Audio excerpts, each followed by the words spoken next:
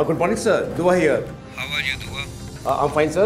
Files मिल गई तुम्हें हाँ सर मुझे फ़ाइल मिल गई है sir I have seen that sir देखो ये मैटर बहुत इंपॉर्टेंट है हमारे लिए इस केस की अच्छे से इन्वेस्टिगेशन करो don't worry sir I will get into the details of the matter and I need the reports as quick as possible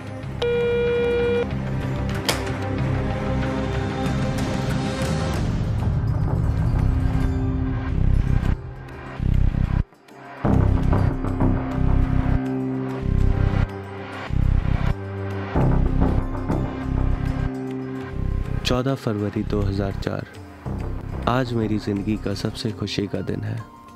मुझे आज माँ और पिताजी के आशीर्वाद से बीएसएफ में नौकरी मिल गई है।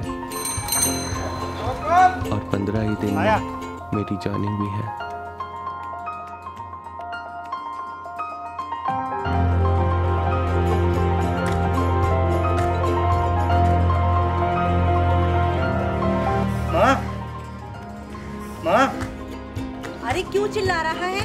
ये मेरा बीएसएफ से लेटर आया मैम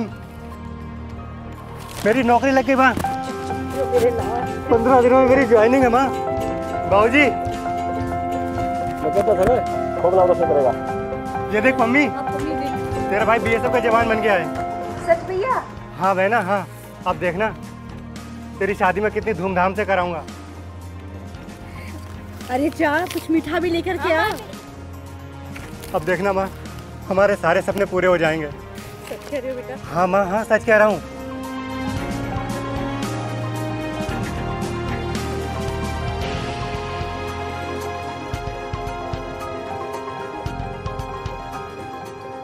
ठीक है बेटा। तुम मन लगा करके मेहनत करियो और खूब नाम रोशन करिए क्या आइयो? ठीक है बाबूजी। माँ। अपना ख्याल रखना बेटा। आप भी अपना ख्याल रखना माँ। खाने पीने में कोई कमी मत करना ठीक है माँ।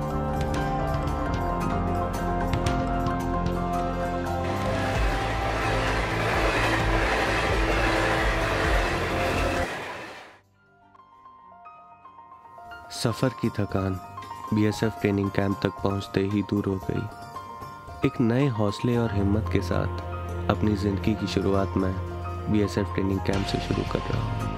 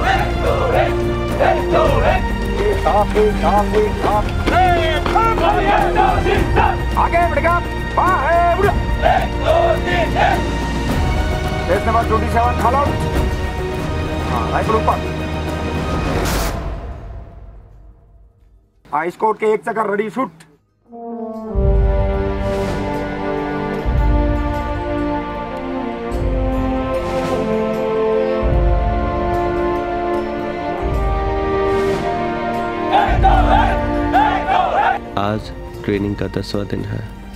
अब थोड़ी थकान भी महसूस होती है, पर सब कुछ यहाँ बहुत अच्छा है और अंदर से कुछ कर दिखाने का जज्बा इस थकान को पलक झपकते ही दूर कर देता है।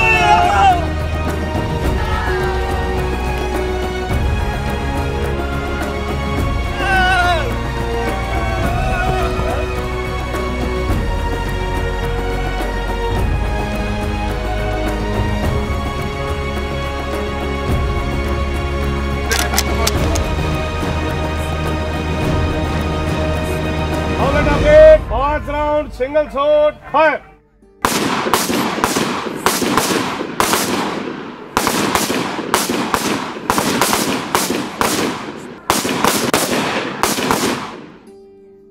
आप एक एक आप एक एक आप एक आप आप ए थमा दबा आगे बेगा साहेब ड्रिल में कड़ी मेहनत कर प्रथम स्थान प्राप्त किया है नव आरक्षक Kamarpal chest number twenty seven.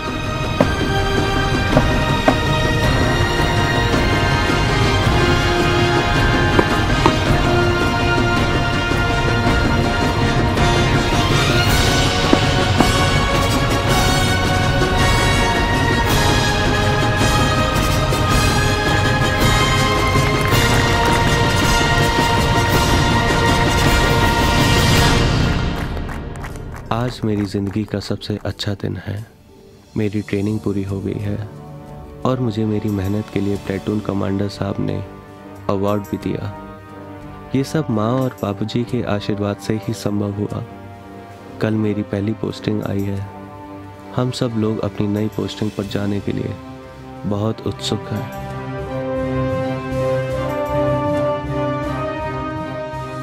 आजकल हमारी टुकड़ी सीमा पर गश्त कर रही है।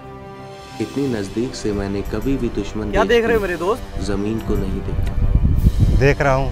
हमारा तिरंगा लहराता हुआ कितना खूबसूरत लगता है। जी तो चाहता है इस तिरंगे को सरहद पार भी लहरा दो। इस तिरंगे की चाहती ही कुछ ऐसी है।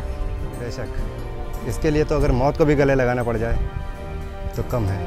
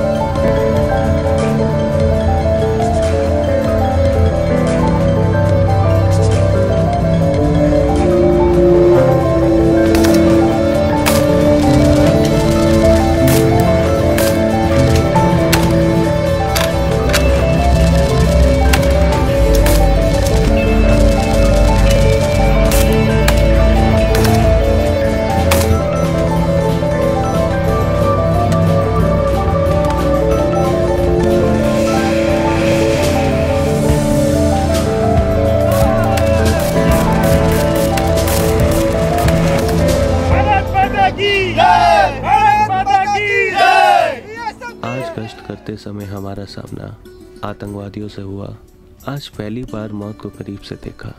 एक गोली तो बिल्कुल मुझे छूते ही निकल गई। आज हमारी बटालियन जैसलमेर के लिए रवाना हो रही है। जैसलमेर पहुँच के छुट्टी की बात करूँगा। कोशिश करूँगा एक महीने की तो मिल ही जाए।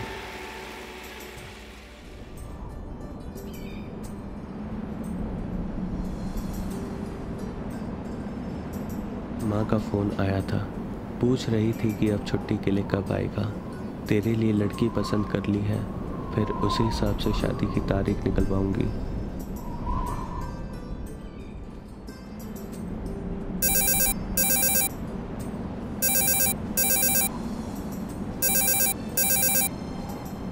हेलो?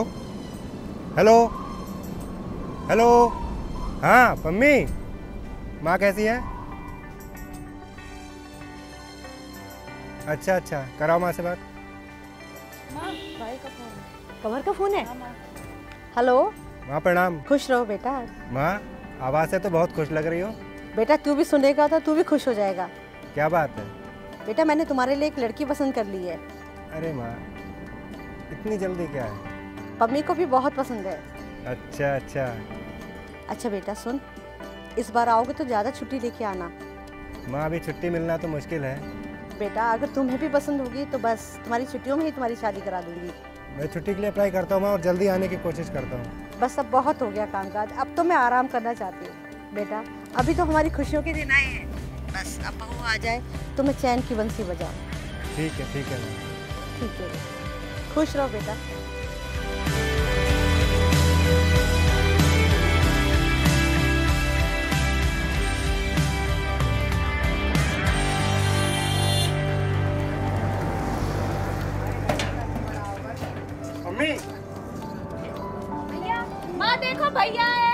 है दरवाज़ा तो खोल पगली दरवाज़ा तो खोल।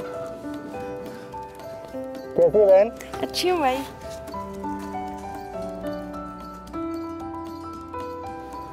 मेरा बेटा कैसा है तू? मैं ठीक हूँ तू कैसी है माँ? बस ठीक इतना कमज़ोर हो गया है बेटा। कहाँ माँ? सब ठीक है। जब मम्मी भाई मुझे छुट्टियाँ मिल गई हैं। इतने समय के बाद मैं अपने घर आया हूँ। घर में खुशी का माहौल है।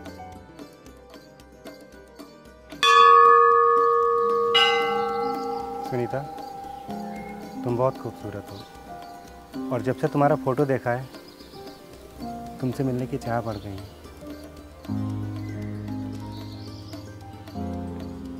जी मैं चलूँ? नहीं रुको।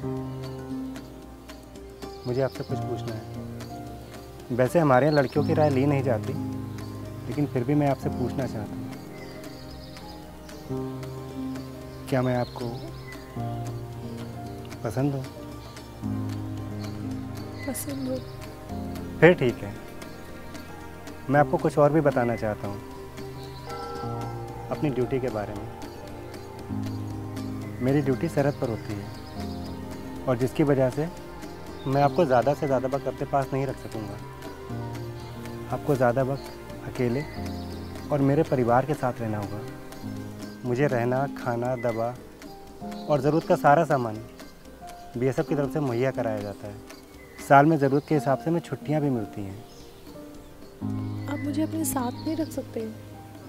जब भी मेरी पोस्टिंग फैमिली स्टेशन पर होगी तब मैं आपको अपने साथ रख सकूँगा। क्या आपको मंजूर है? जी मंजूर है। आपको कुछ पूछना है? हाँ एक बात पूछूँ? हाँ पूछिए। मैं नौकरी करना चाहती हूँ। मैंने इतनी पढ़ाई की है। अगर आप चाहो तो। आप नौकरी करना चाहती हैं बेशक कीजिए।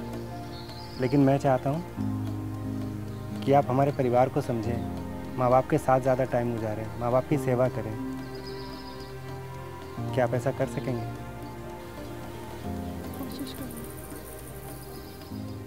फिर ठीक है। चमेली कटेल सुंदर घर आज बियडिया बण तेल चढाई. मुनी घर आज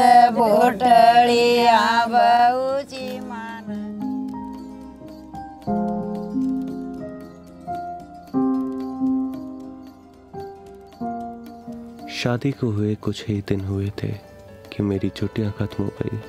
अब मैं वापस अपनी पोस्टिंग पर लौट आया हूँ। एक बार फिर पोस्टिंग बदली है फिर से फ़ील्ड पोस्टिंग मिली। है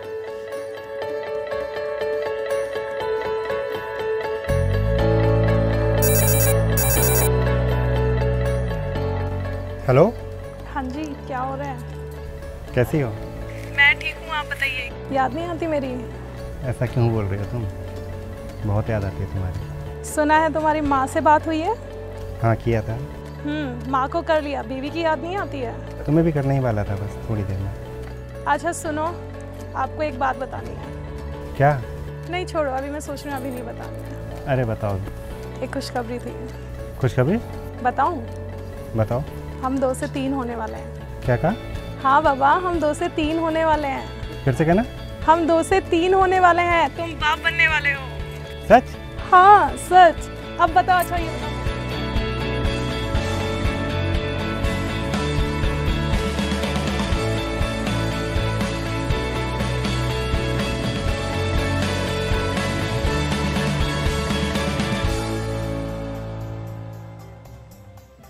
आज बीएसएफ में बढ़ते हुए पूरे छः साल हो गए हैं।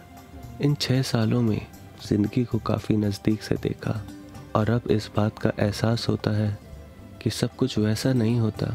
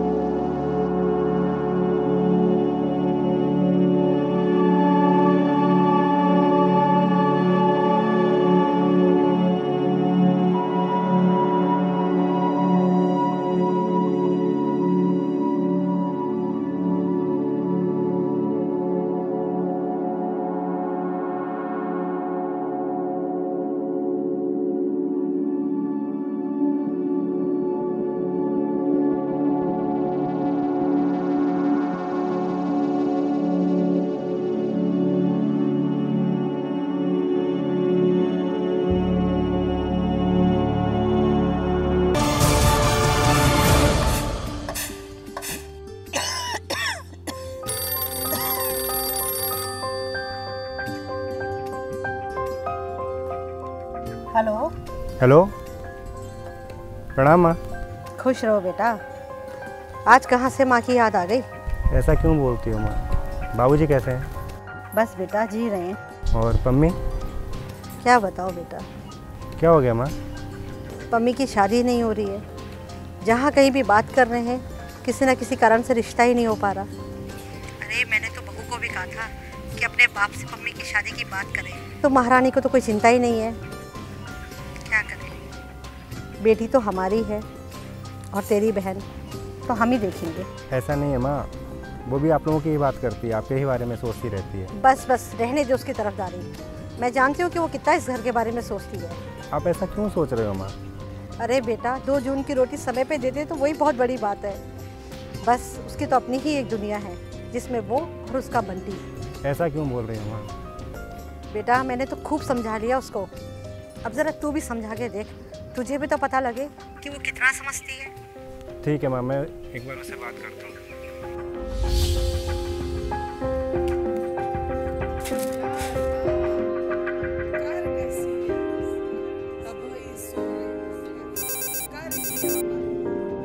मम्मी का फ़ोन? हेलो भैया कब आ रहे हो आप यहाँ पर? आ रहा हूँ आ रहा हूँ। क्या हुआ? जल्दी आऊँगा। जब देखो जब माँ और भाभी लड़ती रहती है दोनों की किसी न किसी बात पर बहस होती रहती है। आप जल्दी आ जाओ उन दोनों को समझा दो। आऊँगा तो दोनों को समझा दूँगा और तुम ऐसे बात क्यों कर रही हो? क्या हुआ है? माँ को समझाने जाओ तो माँ तो मानती नहीं है भाभी माँ की भी माँ है। उनको समझाने जाओ वो तो मुझे ही उल्टा नसीहत देने लग जाती है। बेटा वो तुम्हारे भले के लिए कहती होगी भाभी है तुम्हारी। दुश्मन नहीं है कोई तुम्हारी रहने दो भैया मुझे सब पता आप कितना मेरे भले के लिए सोचते हो। अच्छा ठीक है मेरी बहन। तू तो समझदार है ना? रहने दो रहने दो भैया बस।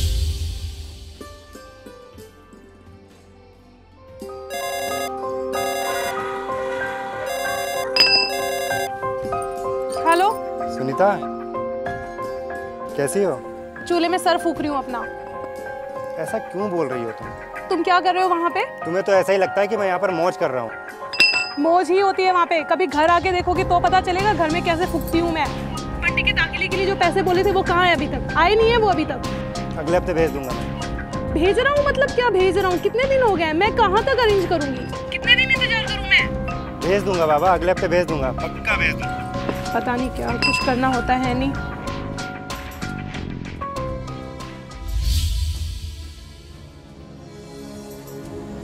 क्या हो मेरे दोस्त? जब से शादी की है ना ज़िंदगी साली जहन्नुम बन के रह गई है। मेरे साथ भी कुछ ऐसा ही है। क्या बताऊँ मैं आप? क्या हुआ भाई? पूछो मत दोस्त। एक तो हमारी नौकरी ही ऐसी है। हम हर महीने घर पे छुट्टी नहीं जा सकते ना? सही कह रहे हो भाई। मुझे ऐसे लगता है जैसे मेरी बीवी किसी दूसरे के साथ चक्कर।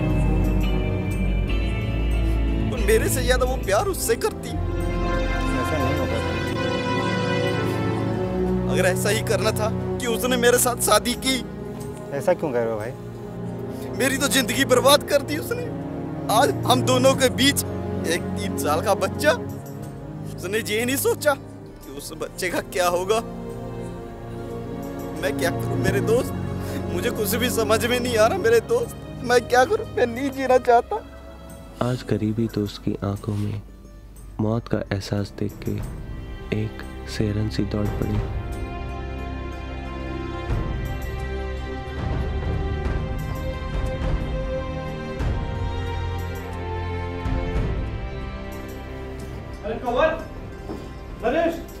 क्या क्यों चिल्ला रहा है? क्या हो गया? अरे यार। क्या हुआ? क्या हुआ? ना अपना हाँ क्या क्या हो गया सुनो सुरेंद्र हाँ? क्या हुआ सुरेंद्र को? सुरेंद्र ने आत्महत्या कर लिया यार। क्या बात कर रहे हैं यार? हाँ। कैसे? पता नहीं ये बात कर रहे हैं यार बाहर। पागल हो गया क्या? मैं सही बोल रहा हूँ। चलो चलो। जल्दी चलो चलो।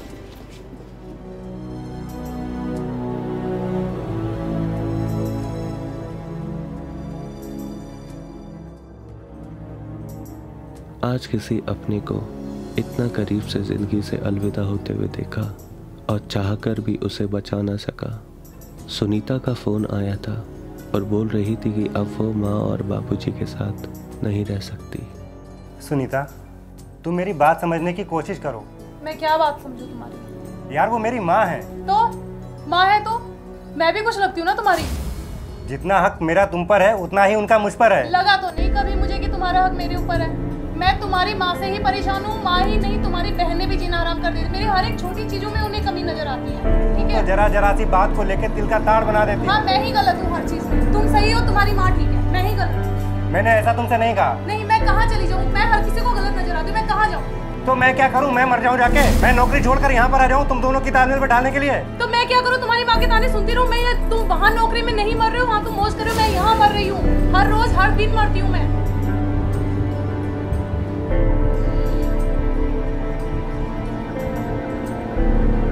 माँ क्या है? आ रही हूँ ना। कब तक ये सब चलता रहेगा माँ घर में? क्या कब तक चलेगा? यही सब। माँ आप इस घर की बड़ी हो। आपका पूरा हक बनता है उसे समझाने का। आप हमें समझाते थे।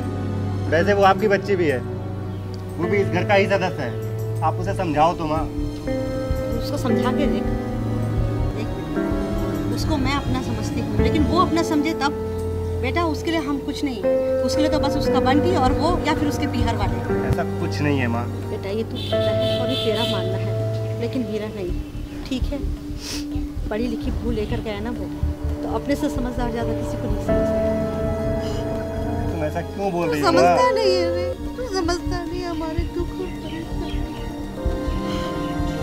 आप नहीं समझते हो। कभी आप लोगों ने मेरे बारे में सोचा है? तंग आ गया हूँ इस रोज रोज के चिक चिक से मैं। वो बात करती है अपनी बताती है। आप बात करती हो अपनी बताती है। मम्मी बात करती है अपनी बताती है। आपको तो लगता है वहाँ बहुत मौत से हूँ। मैं मेरी छुट्टियाँ तो कल खत्म होने वाली थी। मैं जा रहा हूँ।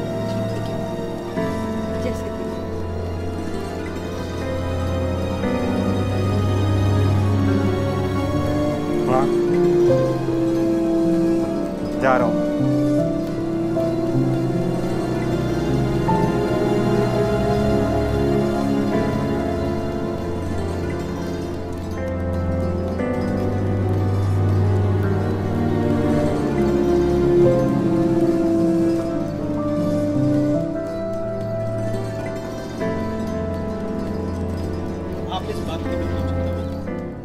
बच्चा हमारा है।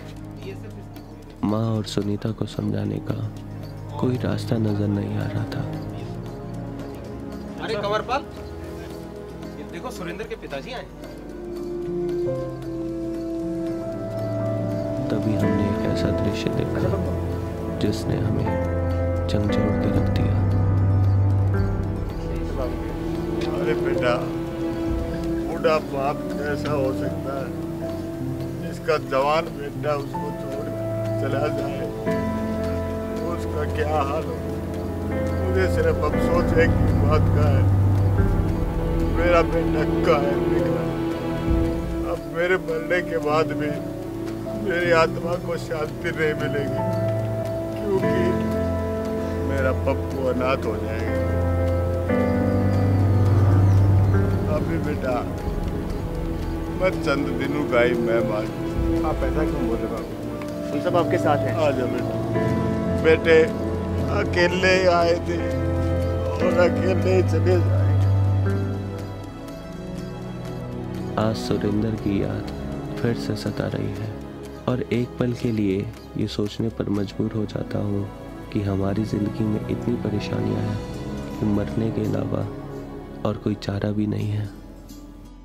अच्छा किया उसने। जो मर गया। यार बंदा कब तक जेले? कोई हमारी समस्याओं को समझना नहीं चाहता। कभी माँ बाप की टेंशन बीवी की टेंशन, बच्चे की टेंशन, फिर नौकरी की टेंशन। वो करता भी तो क्या करता?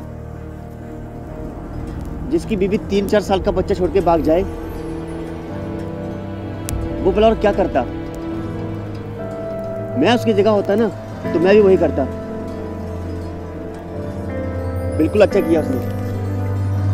क्या खाक अच्छा किया?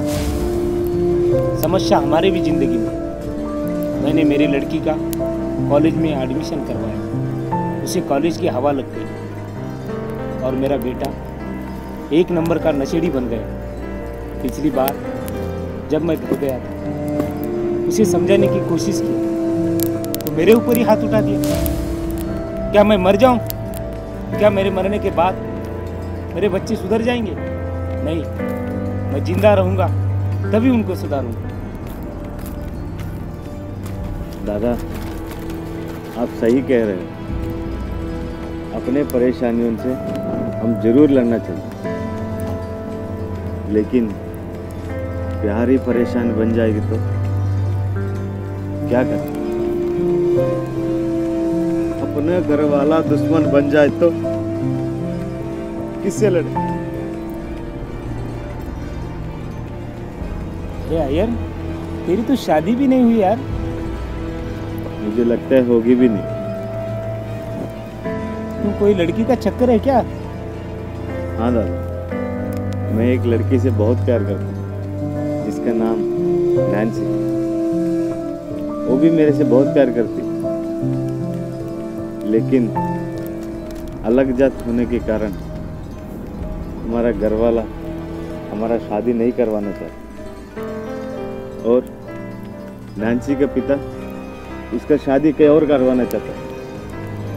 अगर नैन्सी का कुछ हो गया ना दादा मैं भी अपने आप को खत्म कर लूँगा। मैं भी मर जाऊँगा दादा, मर जाऊँगा। भैया कर दी ना बेवकूफ़ों जैसी बात।